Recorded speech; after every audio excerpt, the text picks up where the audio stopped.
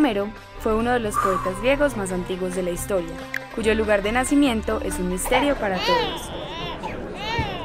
Algunos dicen que posiblemente nació en Quíos, Colofón, Ítaca, Atenas e incluso Egipto.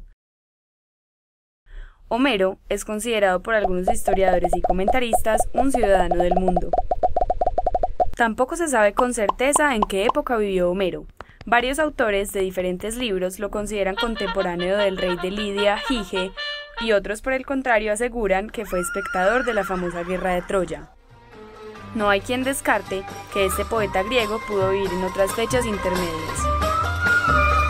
Homero, quien se creía que era ciego, es reconocido por ser el posible autor de la Iliada y la Odisea. La Iliada cuenta la historia de la guerra de Troya,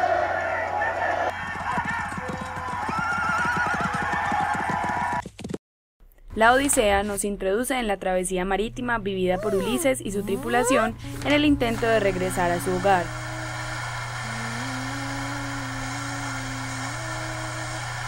La veracidad de estas historias es puesta en duda por muchas personas, quienes consideran que son recopilaciones de mitos que han logrado sobrevivir en el transcurso de la historia.